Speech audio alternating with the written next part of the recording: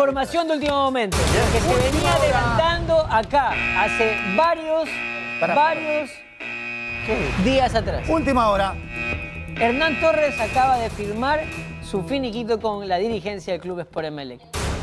Ahora sí podemos decir oficialmente que el día sábado jugar, bueno, jugará Emelec eh, comandado por última vez eh, desde la platea porque está suspendido el señor Hernán Torres y el día lunes ya estará él en Colombia. Yo con creo- su Pregunto, ¿y por qué firma muy bien, muy bien, Estefano, ¿Sabés porque ahora sí es, es oficial. No, no, Muy pero bien. ¿por qué pará, finiquito? pará. Aquí, aquí hay, clave, hay una clave. Aquí yo creo que en este rito de tratar de generar y construir, edificar, y que la mentira salga perfecta, te, te- te ruedan ahí de que has firmado un finiquito para que la comunicación y el oficial de diciembre no quede como una mentira.